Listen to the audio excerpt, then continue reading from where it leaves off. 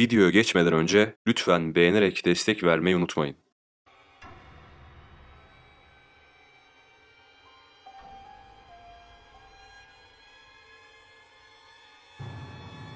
...15 yıl önce Burger King'de çalışan bir eleman çöpleri atmak için dışarıya çıktı.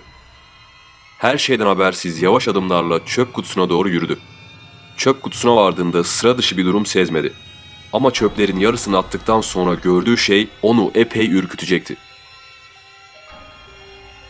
Saniyeler sonra az ileride bir insan ayağı olduğunu fark etti. Ayak bir erkeğe aitti. Adam çöpün kenarında boydan boya uzanmış bir haldeydi. Üzerinde hiçbir elbise yoktu. Ona yaklaştığında güneşin adamı fena halde yakmış olduğunu gördü. Kırmızı karıncalar da bu fırsattan istifade etmiş, her yerini ısırmışlardı. Kimdi bu adam? Sıradan bir sarhoş muydu? Her gün soyulan binlerce insandan biri mi? Onun hikayesi oldukça sıra dışıydı. Restoran görevlisi onu fark ettikten sonra önce iş arkadaşlarına haber verdi. Ardından toplanıp istişare ettiler ve en mantıklı eylemin acil servisi aramak olduğuna karar verdiler. Ekipler geldiğinde hemen onu alıp hastaneye götürdüler.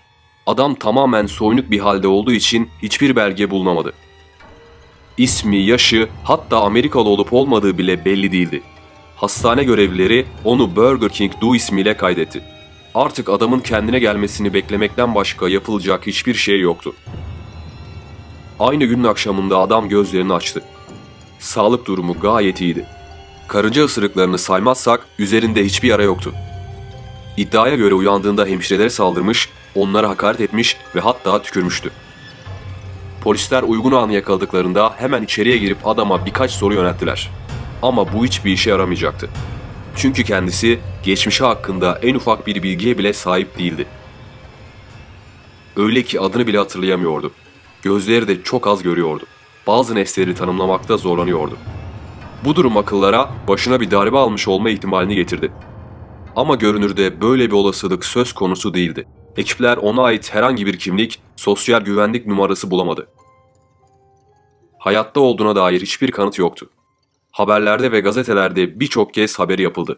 Ama onu tanıyan bir kişi bile bulunamadı. Ailesi, arkadaşı, uzaktan dahi olsa bir tanıdığı bile çıkmadı. Bu da işleri epey bir zorlaştırıyordu. Gerçekten de kimdi bu adam? Parmak izi ve DNA testi bile olayı çözmeye yeterli olmadı. Adam iki haftanın sonunda adının Benjamin olduğunu ve iki A harfiyle yazıldığını söyledi. Ardından hastane görevlileri ve polislerin yardımıyla soy isminin Kyle olduğuna karar verildi. İsmi Benjamin Kyle'dı. İnsanlar onun bir klon olduğunu düşünüyorlardı. Geçmiş olmayan, 60 yaşlarında ama 0 kilometre hafızaya sahip sıra dışı bir klon. Belki de yüzlerce test ve deney yapıldıktan sonra bulunduğu yerden kaçmayı başaran farklı bir adamdı. Numara yapıyor da olabilirdi. Ya da görevi bittikten sonra bir kenara atılmıştı. Olayın en dramatik kısmı bu adamı hiç kimsenin aramıyor olmasıydı. Benjamin o gün Georgia'da ne yaptığını bir türlü hatırlayamıyordu. Fakat isimlerini ve yüzlerini zihninde canlandıramasa da üç kardeşi olduğunu düşündüğünü anlattı. Zihninde eski bir sinema salonu, mısır tarlası ve birkaç cadde vardı. Benjamin'in zihni bu iki üç detaydan ibaretti. Benjamin Bush'un başkan olduğunu, ABD'nin ikinci kez Irak'a girdiğini biliyordu. Polisler bulunduğu yerin yakınlarında herhangi bir sahipsiz araç bulamadı. Benjamin iki haftalık tedavi sürecinin ardından bilincinin yara açık olduğunu belirten bir raporla birlikte başka bir hastaneye sevk edildi. Burası bir üniversiteye ait tıp merkeziydi. Bir hafta sonra tıp merkezi Benjamin'in iki gözünde de katarak olduğunu tespit etti. Ama bu ameliyat pahalı bir ameliyattı. Benjamin Kyle bir hayır kurumunun ameliyat masraflarını üstleneceği güne kadar ameliyat olmayı bekledi. Sonunda bir hayır kurumu ameliyatı üstlendi ve Benjamin ameliyata girdi. Ameliyat sona erdiğinde çok ilginç bir gelişme yaşandı. Ameliyat başarılı geçmiş ve Benjamin'in görme yeteneği arttırılmıştı. Fakat kendini aynada gördüğünde hayatının şokunu yaşadı. Çünkü beklediğinden 20 yaş daha büyük gözüküyordu. Neredeyse 60 yaşlarındaydı. O ise 35-40 yaşlarında olduğunu düşünüyordu. Benjamin yavaş yavaş hafızasının geri geldiğini söylüyordu. Ama aslına bakarsanız bu pek doğru sayılmazdı. İlk olarak bulunduğu günün gecesinde 17. yoldan Richmond Hill'e doğru gittiğini hatırladığını söyledi. yakın bir zaman önce gerçekleşen Charlie kasırgası Benjamin'i yollara sürüklemiş olabilirdi. Polisler bu olayı kısa bir süre soruşturdular. Bir sorun çıkmayınca da dosyayı kapattılar. 2007'ye kadar Benjamin gözlerden uzakta yaşadı. Hastanelerde ve erkek sığınma evlerinde kaldı. 2007 yılında sağlık merkezinde çalışan bir hemşire onun hikayesini öğrendi ve etkileyici bulduğu için ona yardım etmek istedi. Hemşire Benjamin'e maddi destek bile sağladı. Ardından bahçe işleri yapabileceğini öğrenince ona çok az çalışıp ayda 100 dolar kazanabileceği bahçe işleri buldu. Bahçe işleri yaptığı sırada bir kamyon içine girdiğinde araba sürdüğü zamanları düşünüp nasıl yaptığını hatırladı. Aynı yıl Atlanta'ya gittiği sırada Doktor Jason Kick tarafından kendisine disosiyatif amnezi teşhisi konuldu. Yani stres ya da duygusal bir travma sonucunda depolanmış bilgilerini kaybetmişti. Bu hastaların beyinlerinde herhangi bir sorun olmaz. Yeni bilgileri hafıza işleme konusunda da sıkıntı yaşamazlar. Ama geçmiş bilgileri tamamen silinmiş olur. Doktor Jason Benjamin'i inceledikten sonra 31 Ağustos günü bir travma yaşadığını belirtti. Doktor daha önce yattığı hastaneden Benjamin'e ait tıbbi kayıtları istedi.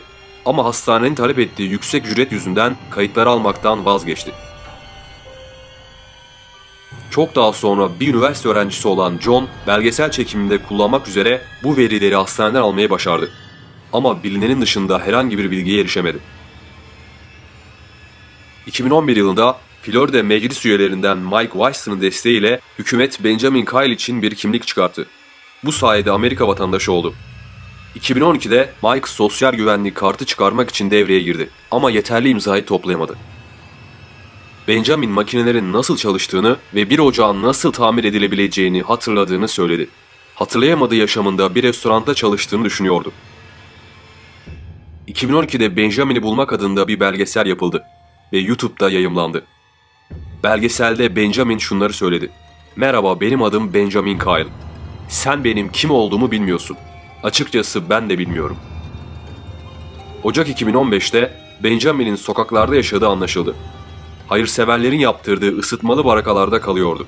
Benjamin hem yaşlıydı hem de hala bir sosyal güvenlik numarası yoktu. Bu da iş bulmasını zora sokuyordu.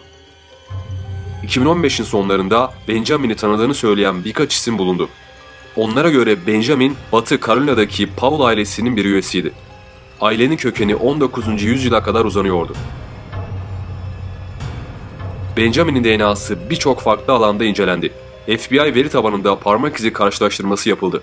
Askeri personel ve devlet çalışanları veri tabanındaki parmak izleriyle karşılaştırıldı. Sağlık bilimleri merkezleri ve üniversite hastaneleri tarafından incelendi. Soy ağacı incelemesi yapıldı.